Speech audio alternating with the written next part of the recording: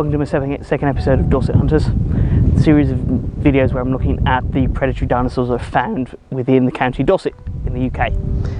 Now, I'm here on the, on the hillside above the town of Weymouth, just over there, and we've got the Isle of Portland. It's a fantastic day here on the south coast. And here specifically for a hill, just behind me, called Jordan Hill where they're on the side of the cliffs they found the remains of the theropod dinosaur Metriacanthosaurus.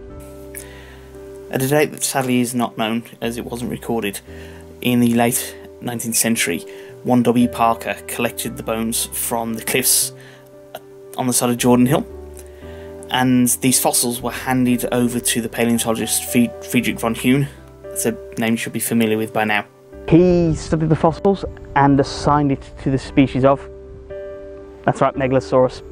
Just like so many other theropods, Metriacanthosaurus was labelled as a Megalosaurus. It was quite a common thing for the early days of, of paleontology. He did recognise it slightly different though and gave it the species name Parkeri after W. Parker. So Megalosaurus parkeri as opposed to Oxfordshire's Megalosaurus bucklandi. However, in 1932, von Huene did a re-examination of the fossil remains. He did it for several fossil dinosaurs that have been found within not just Britain but also uh, parts of Europe. And he recognised it as different from Megalosaurus because of the slightly higher neural spines on the dinosaur. And he thought it might have been related to another British theropod called Altispinax. So he reassigned to that genus. Now obviously at this point it became known as Altispinax parkeri. However, the neural spines on the vertebrae weren't quite as extended as Altispinax. In fact, they're not significantly taller than that of the average theropod dinosaur. So Alec Walker, another paleontologist, later used that as the basis to give it its own genus, Metriacanthosaurus, the moderately spined lizard. The fossils of Metriacanthosaurus included several vertebrae from the back, sacrum and tail. It also included most of the hip, both the femurs, and a single metacarpal. Now the size estimate for this animal is about 8 metres long, which makes it a moderately sized theropod, in fact actually quite a decent size for the, for the middle of the Jurassic period.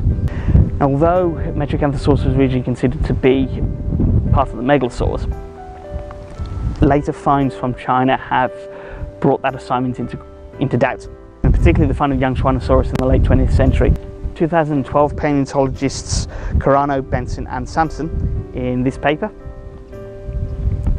actually assign Metriacanthosaurus to a group of reptiles that includes a theropod dinosaur called Sinraptor and they used to be referred to as the Sinraptorids. Now the Sinraptorids were a group of moderately sized theropod dinosaurs that were more closely related to the allosaurs than they were to the megalosaurs. Now, what makes Metriacanthosaurus really significant is that all the other Sinraptorids have been found in, in East Asia. In fact, only one so far has been found outside of China, and that was found in Thailand. So the fact that Metriacanthosaurus comes from Europe is actually really significant. It shows that this particular group of theropod dinosaurs had a much, much greater range than had originally been thought. Now, having been found before Sinraptor and Yangchuanosaurus has meant that these groups of dinosaurs are, that were originally named Sinraptorids have now been renamed to Metriacanthosaurids in honour of Metriacanthosaurus, with it being the first one discovered.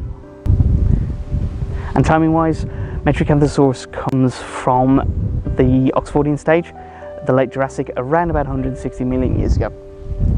As a side note for Metriacanthosaurus, it is also featured in the Jurassic Park franchise. You can actually see it on screen labelled up in the embryo chamber when Dennis Nedry steals the embryos next to the misspelt Stegosaurus.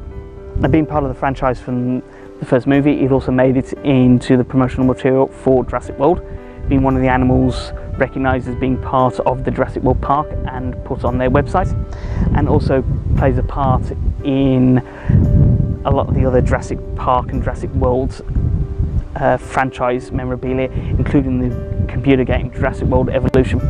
Now, sadly, from the promotional website for the Jurassic World, it would appear that Metriacanthosaurus didn't survive the latest movie and was destroyed when the island's volcano erupted. And that is the story of Metriacanthosaurus, the moderately spined lizard.